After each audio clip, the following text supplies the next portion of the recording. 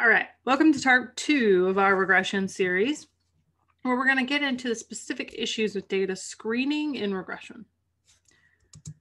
So what we did at the very beginning of the semester, or I guess halfway through the semester, who knows at this point, right? Is we looked at a fake regression to get the information we needed for our data screening. But now we're running real regression, so we don't got to fake anything. So we're going to add a, a little bit of nuance to the steps we ran before, looking more specifically at predicting actual y instead of predicting a random y. So we want to look at our residuals specifically for y while screening x. Now you can still do the old steps. They'll work just fine. They should give you the same answer. However, you can't use the new version of outliers we're going to talk about unless you do this new set of steps. And that makes it sound like it's really different. It's really not. it's very similar to what we've done before, but we don't need a fake regression because we're running real regression now.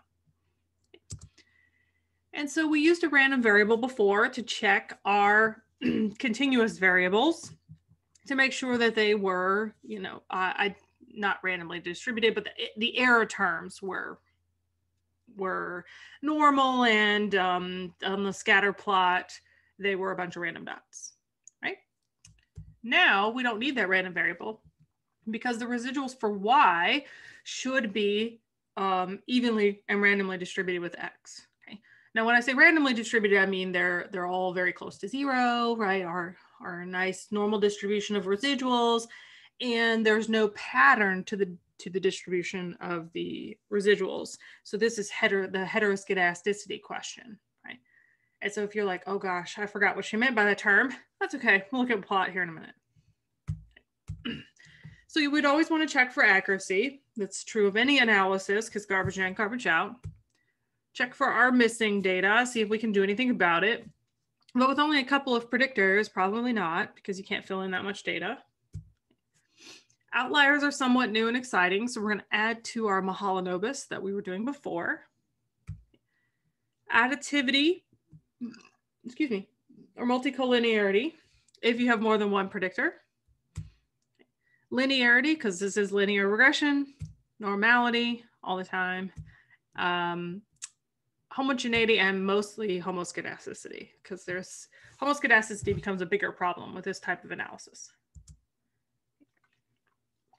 So let's look at an example here, right? And so we've got a data set that covers mental health and drug use. So we have a score for people's depression using a very famous scale called the CESD. The purpose in life score, which is a measure of meaning in life, how purposeful, how meaning driven their life is. The audit, which is a measure of alcohol use. And the DAST, which is a measure of drug use. So I've imported that data here with Rio. And I have just um, grabbed the columns we're going to use for this example. Okay, so there are other variables in this data set, but I just grabbed the ones we're going to look at. So we've got the four, pill, CSD, audit, and DAST. All of these are continuous variables, and you know, otherwise this looks pretty good. So let's see. For accuracy, what I want to do is using my summary, just check the min and max values. I clearly have a 1 NA across the entire data set for some reason. And I will tell you that these are accurate because I've looked at this data a thousand times, but you would have to know what values you should expect here. And we only have one missing data point because with four columns, we can't really estimate missing data. So I just say, you know what, NA omit, and now I'm left with 266 after I eliminate the data point columns to work, or participants to work with, which should be pretty good. Okay, it's a larger sample. Now, I mostly kind of didn't do a whole lot in, in those sections. I didn't mess up the data because I want to spend most of my time here focusing on outliers. In this section, we're going to add two new outlier checks um, that are specific to regression. And I will tell you that there is no set one set of rules here. There are many other ways to check for outliers in regression that are variations on this theme. These are some of the more common ways. And you can change your criteria based on more your goals for your analysis. So I'm going to give you a good suggestion here with the caveat that once you're on your own, uh, it this is not like the answer. So we'll stick with Mahalanobis because it's a good multivariate measure of, of outlierness, right? So people, how far away they are from the mean of all the means. We're going to add to that what are called leverage scores and Cook's distance. Okay. And if you're reading the chapter, the Andy Field chapter on this, there are a lot more. It's just, I think these these three combined give you a really good feel for what type of outlier someone can be. Because okay? they can be very far away from the mean of the means, but not cause you any other problems.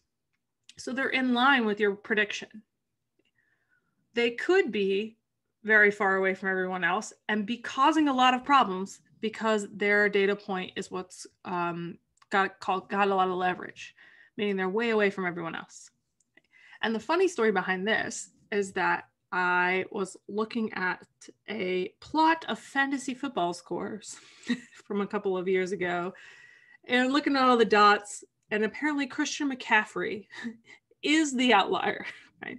So if you're trying to put regression lines on some of those those statistics, a couple of years ago, he was the problem on plotting and predicting the analysis.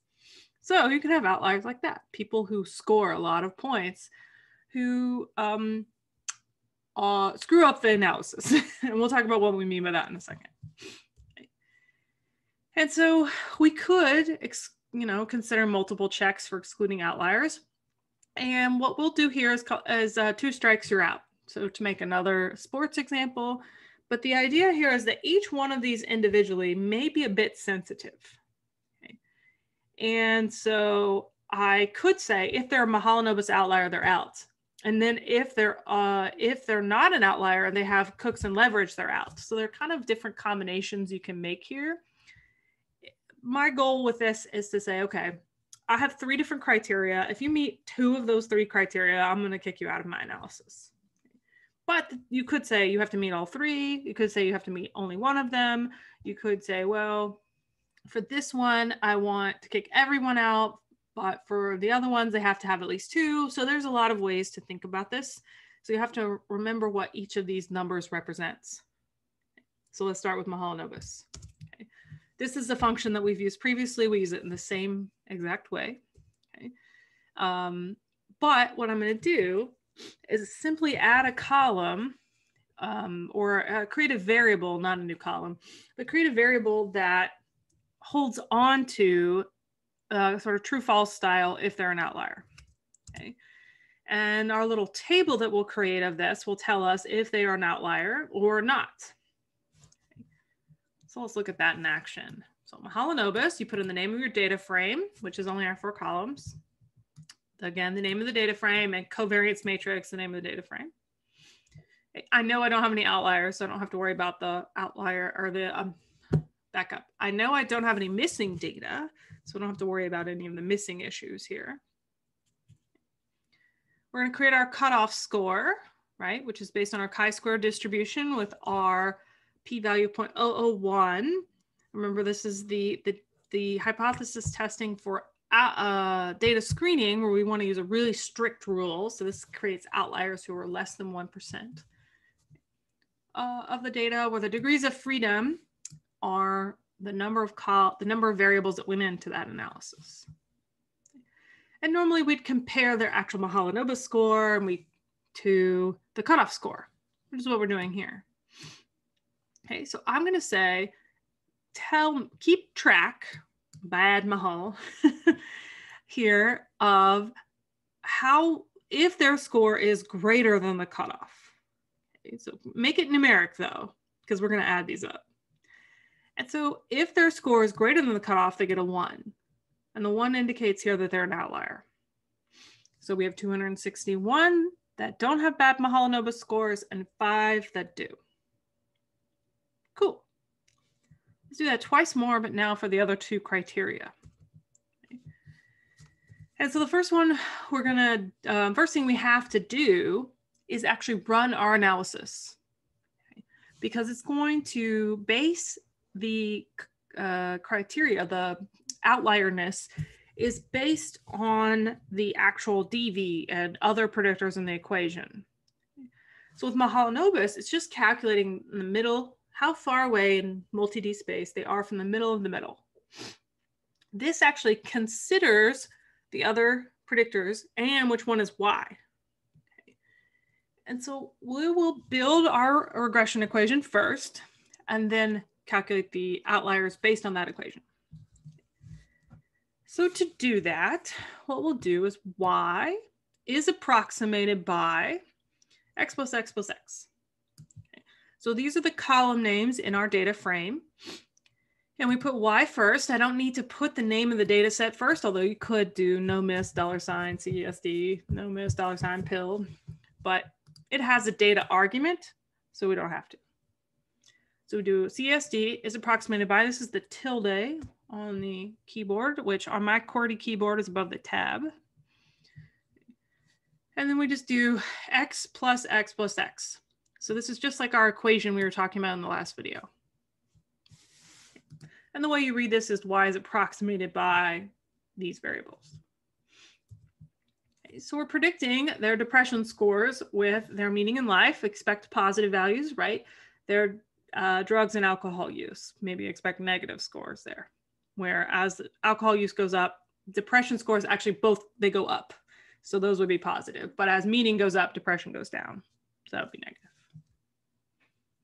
I just called it model one. You can call it whatever you'd like out here. Um, but we're going to save that output. So we're not looking at the analysis yet because this isn't our, our statistical test. This is our test for outliers.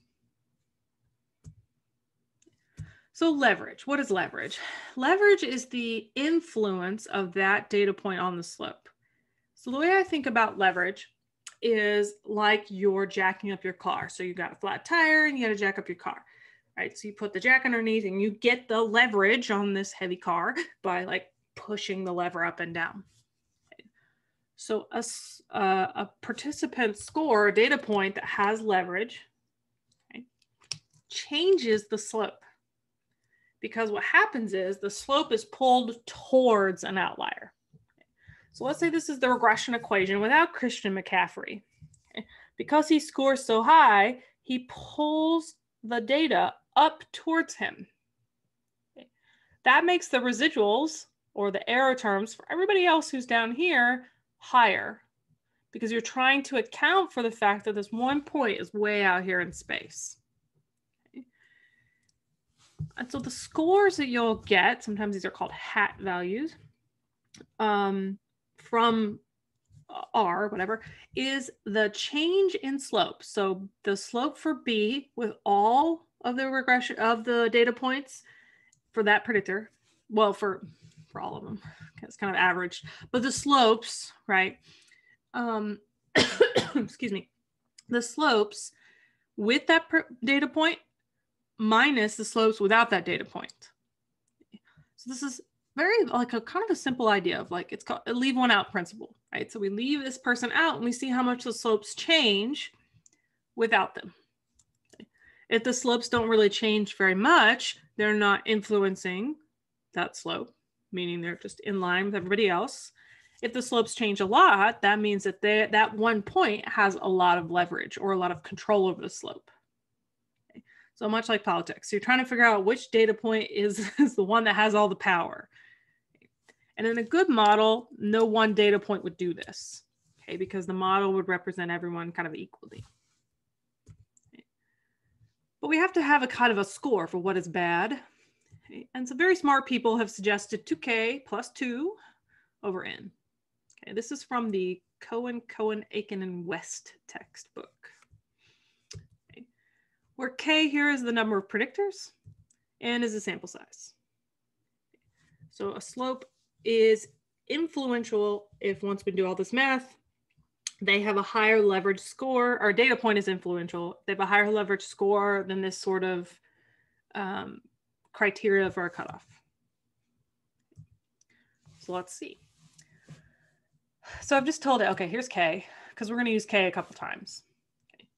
To get the leverage values, we use this hat values function on our saved model output.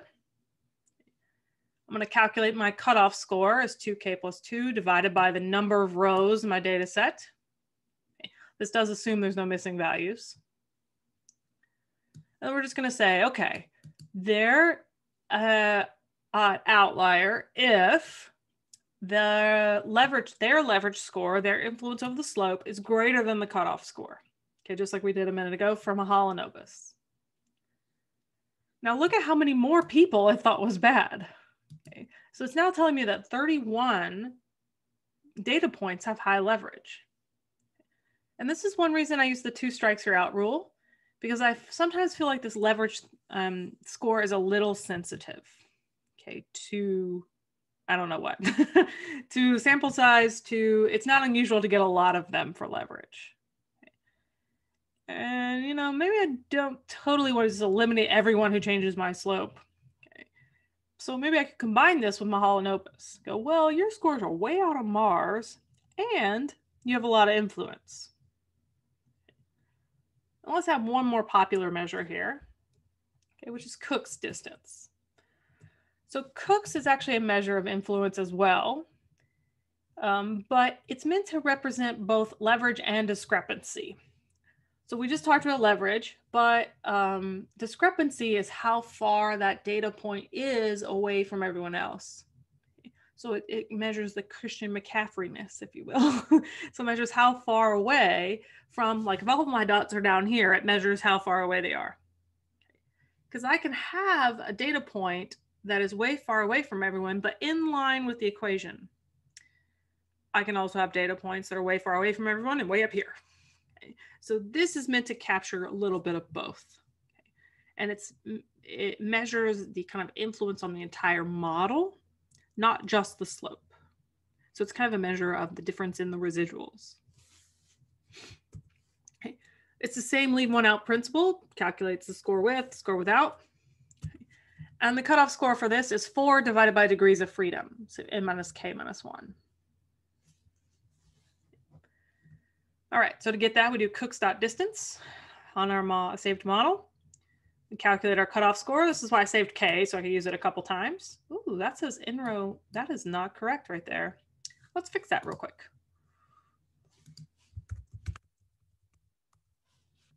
Okay, this should be on our no miss data set.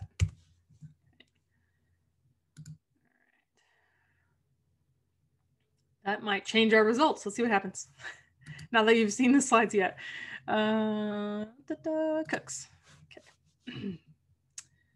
All right, we talked about what cooks is. So this calculates um, now correct this time on the data set we've been using for the model. Okay, minus k minus one. Calculate if uh, their actual cook score is different than our cutoff. So for the cutoff, I put cut in front of each one so I can remember that this is the cutoff score. And you see that this one's sort of in the middle of the two. Okay, we have 15 bad points. Now, combine these two, to these three together. So I'm going to create a total score for the number of indicators a data point has. And that's easy. I just add them up. Bad Mahalanobis plus bad leverage plus bad cooks gives me my total outlier score. And you can decide what rule you want to use here and how how you want to use it. Like exclude all my Mahalanobis and then everybody who's both cooks and leverage is a totally valid way to do this. But I'm going to use the two strikes you're out rule. And that leaves me with 11 data points that would be considered outliers. So three, I'm sorry, two data points have all three of them. Nine data points have two of them. So I'm not really particular about which ones they have, but this would allow me to get rid of, this allows me to say, if any one of these is too sensitive, I've done at least two of them. okay, so two strikes, you're out. So to do that, I'm gonna, oh, good grief, this is wrong too. I hope this does not continue to be incorrect great thing about Markdown, let me promote the, the love of Markdown, that I can fix this real quick. right? Make sure you're using the right data set the whole time. okay, so we're on no miss here. So we're subsetting out our no miss data set and saying anything less than two. Now, the difference between no miss and no and our master data set is one data point, but I should still be using the right data set here. Okay, it's our no out data set. Cool. Now, what next? So we've changed outliers and we could now run through the rest of the assumptions. We're going to run that on our real regression. However, we've gotten rid of 11 data points that influence our model. So you want to run your regression, same regression again on the right data and just call it like model two or something. So you don't want to run your assumptions on the data model that use the outliers. Okay, so our model one included those 11 points that we've eliminated. So now model two here excludes those points. So we can check our assumptions excluding people we know might cause crazy residuals or um, be really far out on our scatter plot. Now this is all the same. For additivity, we could calculate the correlations directly, but no need to reinvent um, the wheel and no need to run things that I don't have to because it's already part of the output from regression. So you do want X and Y to be correlated. So I don't want to look at that um, and get confused because it's easy for me. I get confused a lot um, about, oh, I have to exclude this variable because it's highly correlated. And later be like, duh. Okay, I do want X and Y to be correlated. And if that, that highly correlated, um, well, probably something's wrong, but that would be good, right? I've got a perfect predictor but you don't want the x's to be correlated because you'll lose power. So a quick way to get that is to run the summary and say, cool, give me the correlations. I'm gonna try my best to ignore the tables and all the interesting stuff that actually tells me if my hypothesis worked, come down here to the bottom. Don't look at this intercept um, point here, but look at this out here. Okay. The pill total correlated with the audit total, very low. Pill total, DAST also low. Audit and the DAST are correlated, but not be, uh, beyond our, our scary scores. Okay.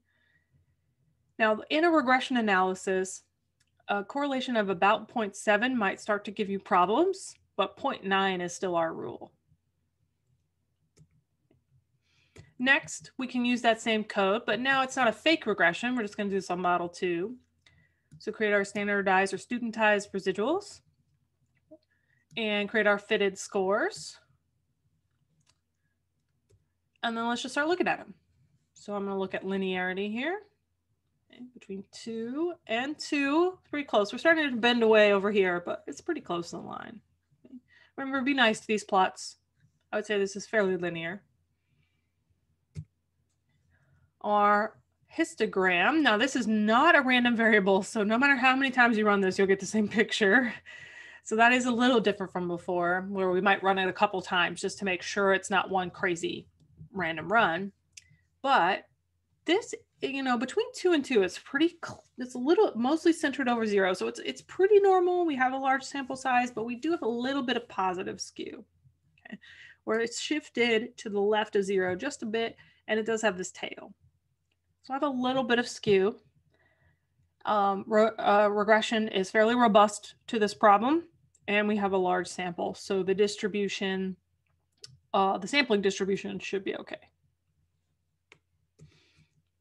Now, the more important one I would definitely say is homoscedasticity. but let's look at both. So a little bit of issues with some homogeneity. Now, homogeneity is traditionally interpreted as uh, equal variances between groups, right? But what we can see is the variance here is not exactly equal around zero. So we might have some issues with homogeneity between variables at least, right? So it goes from two to four here. So that's not quite an even spread around zero. But homoscedasticity, it's actually okay. Now, there is, uh, there are more dots here, but I think in general, when I draw kind of my square around the dots, it's pretty even. So we might be, you know, we might have starting to see some issues where uh, the prediction here is a little different than the prediction over here, but it's not terrible. Okay. So my quick glance, draw a square around it. Looks pretty even down all the values of x and y. So we'll say it's uh, good enough for government work. Okay. Now, some alternatives that you could use, right? If something goes wrong, if it's uh, a linearity problem, you can try nonlinear or non-parametric regression. And so you can think, you can start to start modeling curvilinear regression or power functions. If it's normality, and you can get more subjects, get more subjects, but it's fairly robust with larger sample sizes. And if it's got problems with homoscedasticity or, or the problem is heteroscedasticity, bootstrapping will at least give you um, standard errors that are more representative and you can sort of feel better about your statistical tests. So most people look for um, they're called heteroscedastic consistent standard errors where we've kind of bootstrapped what the what the numbers should be. And we won't talk about bootstrapping in this lecture, but next week we'll show you how to do bootstrapping so that you can extrapolate that back. So this is where we're gonna take a brief pause and keep these videos from being too long. So come back to see if our models have worked.